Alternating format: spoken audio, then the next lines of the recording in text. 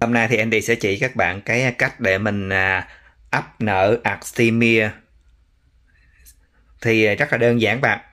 Thì mình sẽ mua cái à, uh, trên này trên Amazon các bạn gọi là Bright Dream A hay còn gọi là Artemia nè. Nó thì đây là cái trứng của nó nè. Nó sẽ ấp nở ra để mà thành con giống như con trứng nước các bạn để mình cho cá con nó ăn.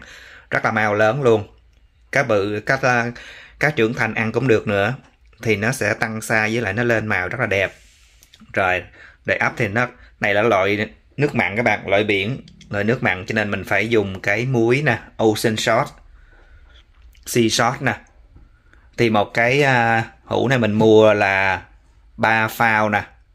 Nó là 15 đồng rưỡi tức là một ký rưỡi ăn một ký rưỡi bạn. Còn cái bịch này mình mua là 4 oz.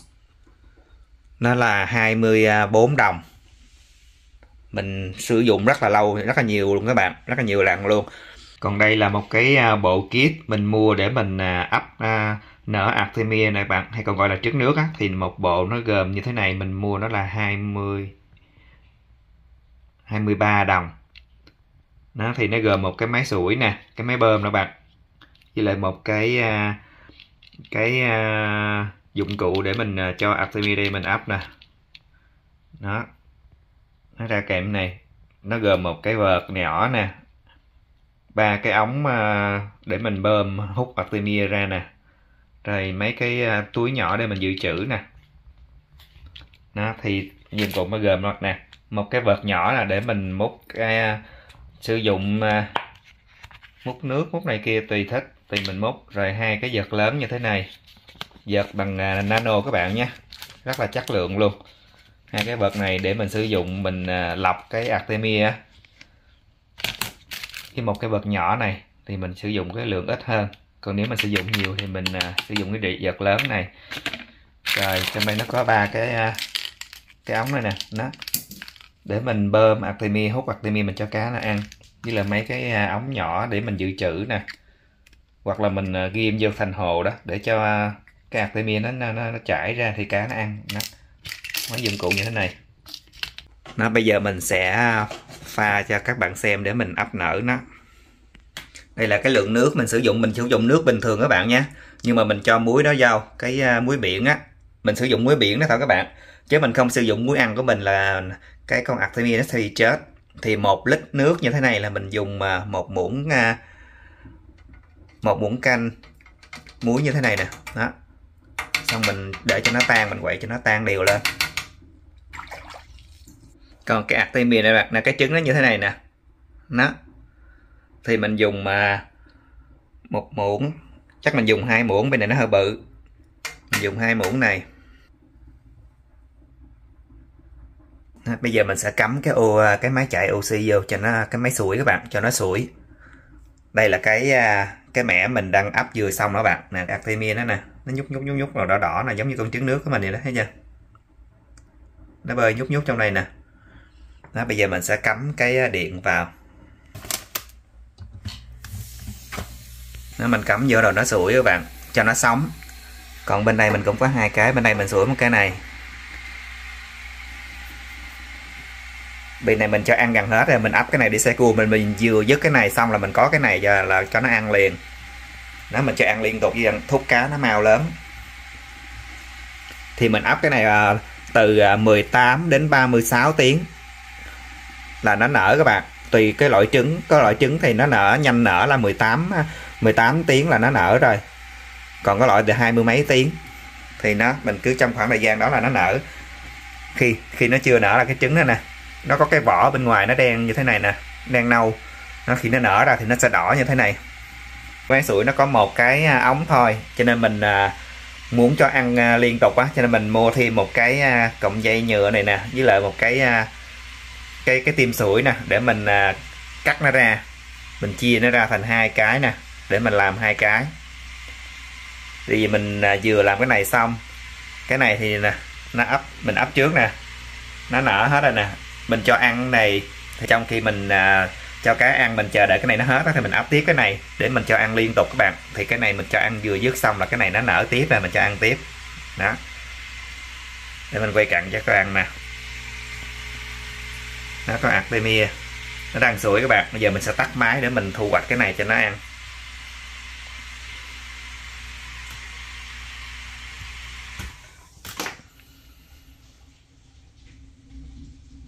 Nó sẽ lóng xuống các bạn. Còn Artemia nó tắt máy thì Artemia nó sẽ lóng xuống. Mình thấy nó đỏ đỏ, giống như con ờ, trứng nước vậy đó. Mình tắt cái máy sủi xong cái nó lóng xuống nè. Nó đỏ đỏ ở dưới đấy, bạn thấy không? Để mình quay cận lại cho nó nó nhúc nhúc nhúc cho bạn xem nè.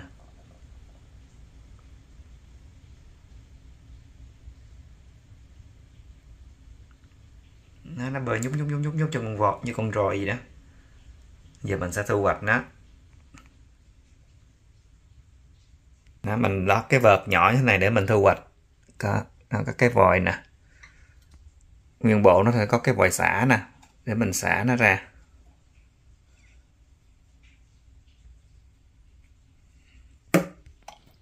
Khi mình xả ra thì hạt nó chảy xuống nữa các bạn nó đỏ tươi này thấy chưa?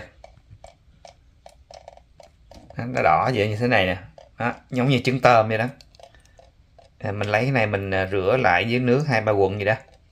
Cho nó sạch cái muối này. Bây giờ cái này nước mặn các bạn. Mình rửa sạch lại với nước ngọt để cho cá nó ăn. Đó, mình xả đủ cái lượng mình à, đủ cho ăn này thôi. Nó mình thu hoạch được nhiều nè. Bây giờ mình sẽ đi à, xả lửa rửa lại với à, nước à, sạch cho nó ra hết cái muối này để mình đi cho ăn bầy cá bảy màu ARS coi của mình nè. Hôm nay được à, tháng rưỡi rồi nè. Nó được tháng rưỡi tuổi được 6 tuần mấy rồi đó. Gần 7 tuần các bạn. Nên nó lên bắt đầu lên màu đỏ đỏ đuôi thấy chưa? Cái đầu nó cũng hình đỏ đỏ đó. Nó sẽ mình cho ăn bằng cái uh, Artemia nè, nó mau lớn lắm các bạn. Artemia ấp nở nè, mình mua về cái mình ấp á. Dùng máy à, sủi bọt á, mình ấp cho nó nở nè mình cho nó ăn rất là mau lớn luôn. Còn nếu mình cho ăn à, cám à, thông thường á, thức ăn thông thường nó chậm lâu lớn lắm. Còn cái này nó tươi sống là rất là nhiều dinh dưỡng nè. Các bạn thấy không? Nên quay các bạn gần nè. Nó nhô nhúc nhô nhúc nè. Nó giống như con trứng nước ở Việt Nam mình gọi là trứng nước á mình cho đây cho nó ăn.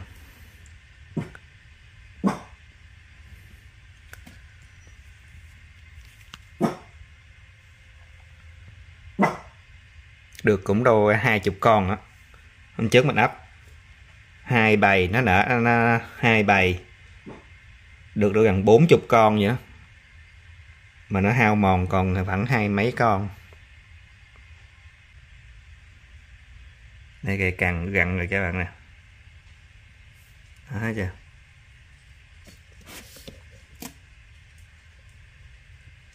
đó, có con nó lên màu đó. Cái đuôi nó đỏ cái đầu nó đã đỏ rồi thấy nha có mấy con đen nữa. Nó bị lai sao đó. Bày cá à, à Coin Guppy của mình hôm nay được là hai tháng hơn rồi nè. Hai tháng mấy ngày đó. Bây giờ nó đang trưởng thành nè đang thời kỳ trưởng thành và có thể nó sắp có trứng đó, nó ép. Cho nên bây giờ mình sẽ tách bầy nó ra, mình bắt mấy con cá, mấy con cá màu xanh, màu đen này ra để mình nuôi vào châu khác. Chứ để không nó nó ép, nó lai tùm lum các bạn. Mình muốn nó là chỉ là cá coi thôi. Mình thích cái màu sáng chứ không thích mấy cái màu mà đậm đậm, đen đen như thế này. Cho nên mình tách nó ra chứ để nó ép nó lai tùm lum. Mình tách nó ra riêng bày mình để bày cá coi thôi. Mình thả chung với con cá gô vô đây luôn cho nó ép ra không biết ra cá gì không biết nữa. Cá cá cá coi với cá cá gô full gô mà full gô của mình nó nó bị lai sao hay là tại do cái nguồn nước mình hay sao á. Cho cái nền cái đáy á cái đáy của cái cái cái cái cái, cái, cái hồ nè. Cho nên nó không có lên màu đẹp. Bung bung bung lợi nó bu lên thấy chưa?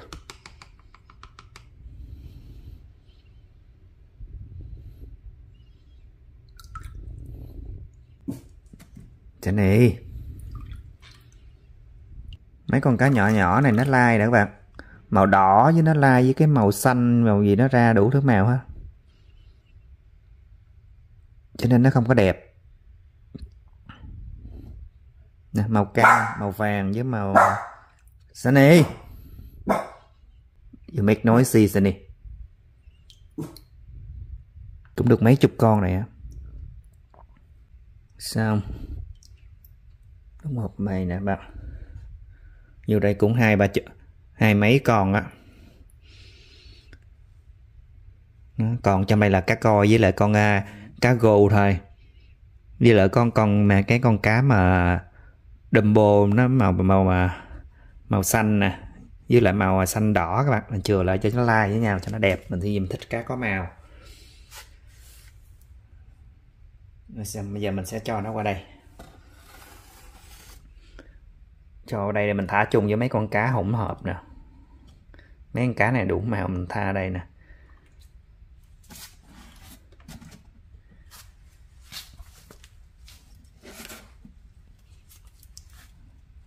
Đây mình sẽ bắt mấy con cá màu mình. Bắt mấy cá màu mình mình mình mình cho lại bên kia. Mấy cá đỏ nè.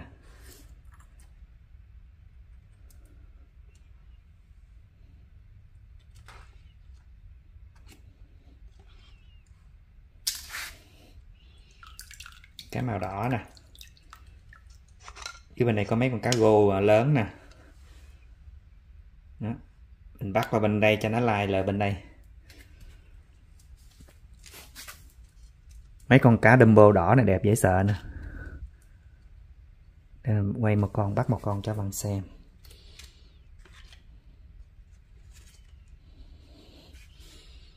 ừ. mấy con này đẹp dễ sợ luôn á.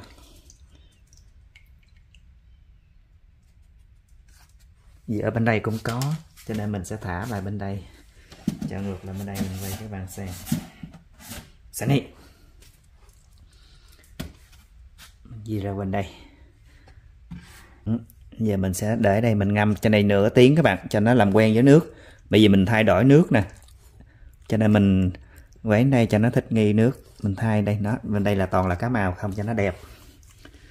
Mấy cái cá đỏ này nè cho nó ép với cá coi thử coi như thế nào. Nó ra coi, coi cá gì cũng việc với cá gô mình thả chung luôn. Anh đợi đây nửa tiếng sau mình thả nó ra. Thì mình ngâm nãy giờ được nửa tiếng nữa bạn cho nó làm quen với cái nước nè. Bởi vì qua đây cái thay đổi môi trường nước á, cho nên sợ nó bị sốc, nó thì chỉ chết á. Cho nên mình sẽ ngâm ở đây. Bây giờ mình thả nó ra nè. Có mấy con cá gô, bốn con cá gô, với hai con cá đỏ. Thả ở đây. Nó bày bày cả màu nè, cho nó lai.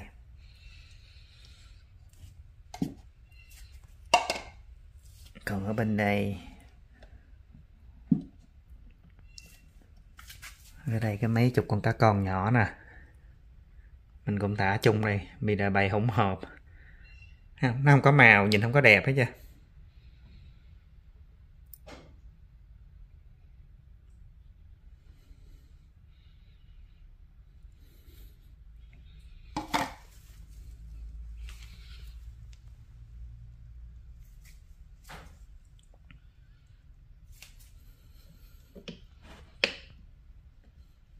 để dây chầu bà trong đây nè cho nó màu xanh. Đó, còn bên đây nè. À. mấy con cá coi này lên màu đẹp thế sao? Cái đầu nó màu đỏ cái đuôi màu đỏ cái mình thì nó màu à, màu vàng vàng.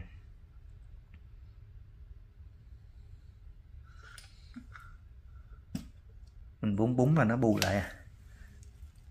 Tưởng cho ăn nó bù lại.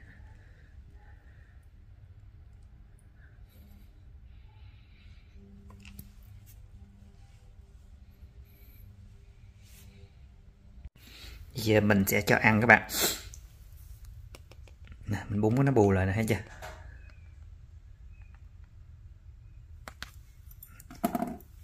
Mình cho ăn à, dặm thêm à, cám. Nè, loại cám này các bạn nó giống như cái à, cái trứng à, tôm sấy khô đó.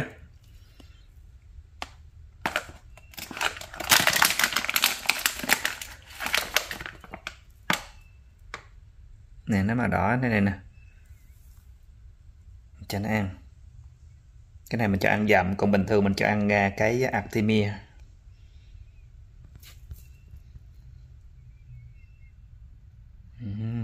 Cho coi lên màu đẹp như sao. Nó bự tí. Nè, có con đực nó biết dí thôi chứ bạn. Có mấy con này nó biết dí rồi đó, là nó trưởng thành, nó đầu nó dí, nó ép rồi đó. Thấy nha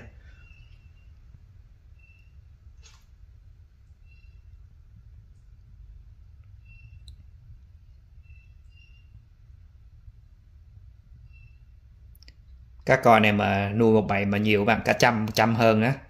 Năm chục con trở lên á, là nhìn nó mới đẹp, nhìn cái hồ nó đẹp lắm. Cái này mình có à, 11 12 con à cho nên là nhìn chưa có đẹp mắt.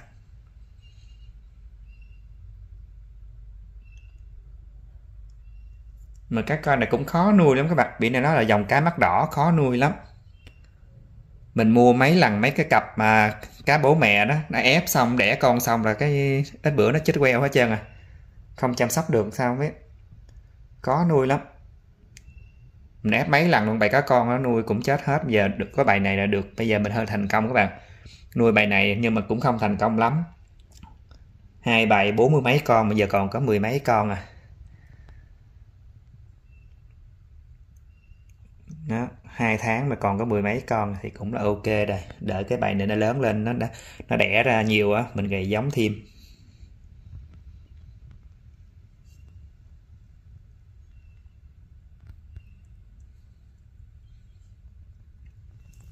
Bây giờ tới bầy bên đây, mình cho bên đây ăn. Bầy cả này.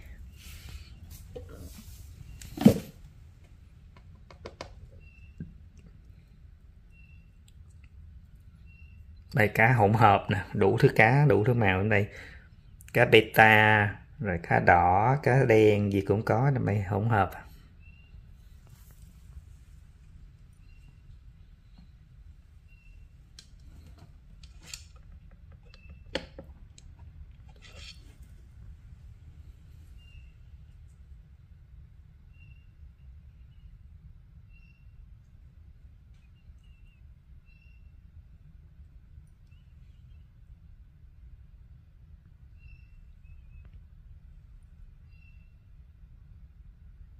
Này mình nuôi ở ngoài trời nó mau lớn hơn bởi vì mình nuôi trời lạnh đó, cho nên mình đem vô nhà nè. Nó không có ánh nắng tiếp xúc ánh nắng này kia rồi đó.